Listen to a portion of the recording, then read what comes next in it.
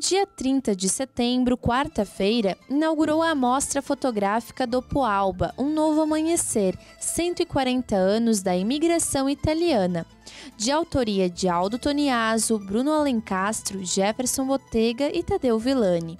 Apesar do título que remete ao tradicionalismo do imigrante italiano, o grupo tem um olhar contemporâneo sobre o que a nova geração herdou.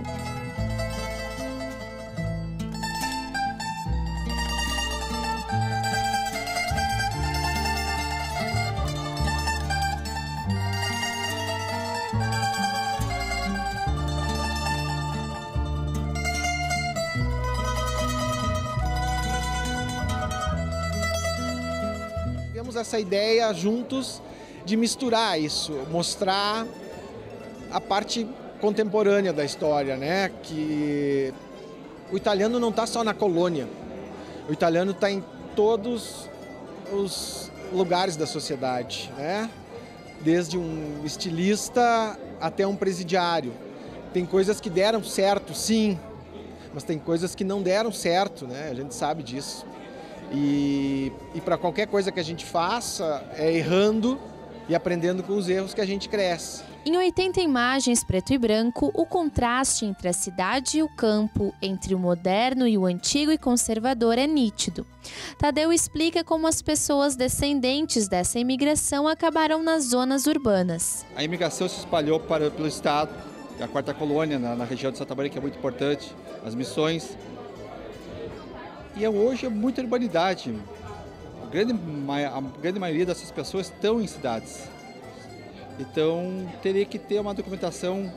Esse é um princípio de um trabalho que estamos fazendo, que eu acho que é documentar cada vez mais constantemente as cidades. A irrigação muito contemporânea, porque ela é, se transformou.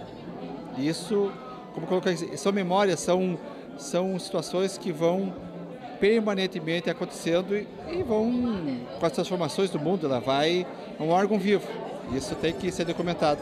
Aldo ressalta sobre a mistura de outras etnias, que resulta na evolução que o mesmo pôde acompanhar, desde que fotografa a etnia italiana há 40 anos. E a evolução, digamos assim, os italianos chegaram nós não temos, não temos mais uma cultura italiana, mas sim uma cultura do imigrante italiano, né?